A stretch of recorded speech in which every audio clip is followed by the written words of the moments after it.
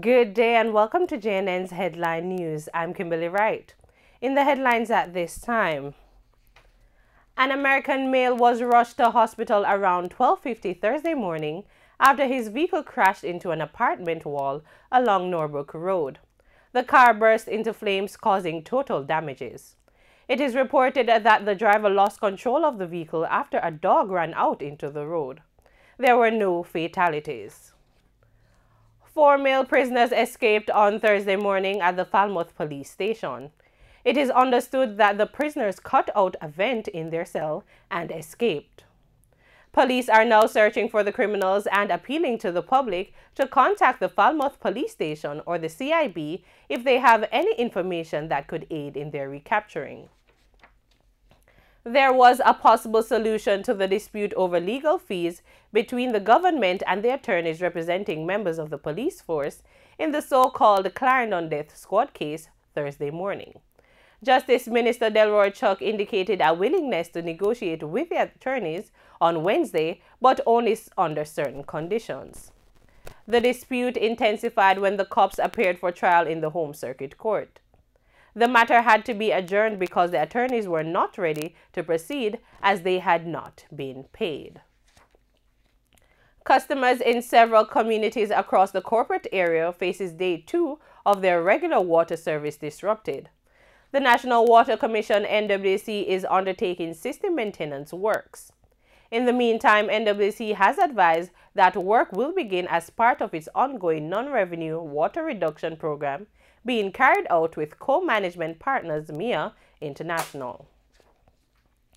It won't be business as usual in the nation's court system as Chief Justice Brian Sykes seeks to reduce the time it takes to complete divorce cases and validate wills. Mr. Sykes also announced plans to change the way cases are listed in the criminal courts as part of the strategy to reduce the backlog of cases crippling the courts. The Jamaica Cancer Society is targeting at least 1,000 women to be checked for cervical cancer, which is most prevalent yet preventable. Executive Director of the organization, Yulit Gordon, said that cancer is a major public health issue that requires a national response. Ms. Gordon said with the prevalence of cervical cancer in the Jamaican society, it is imperative that we look to establish a national screening program to prevent the disease from escalating. A good screening program should be able to cover at least 70% of the population in a particular screening cycle, which would serve to bring the statistics down significantly. In the meantime, the Jamaica Cancer Society has called for the creation of national guidelines to govern patient-physician relationships that would see doctors taking a lead role in cancer prevention by initiating conversation about the disease.